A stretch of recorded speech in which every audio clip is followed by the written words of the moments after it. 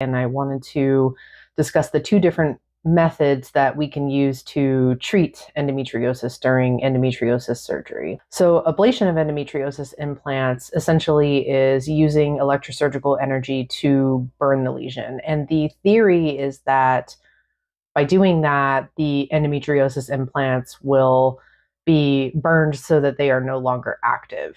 But there are some downfalls to this. Number one, what a surgeon might have thought is an endometriosis implant might not have been. And when the specimen is burned and therefore destroyed, there's nothing for the pathologist to look at to confirm if endometriosis was present.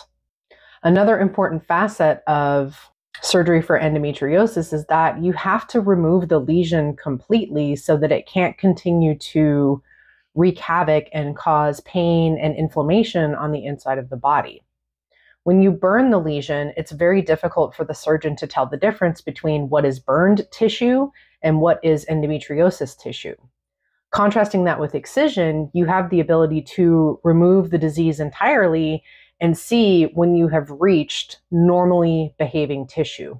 Also, ablation or the burning of the endometriosis implants puts surrounding organs at a higher chance of being injured from what we call thermal spread. And that is the concept that the energy that's applied during the ablation process doesn't stay in the exact same location. It actually slowly expands out.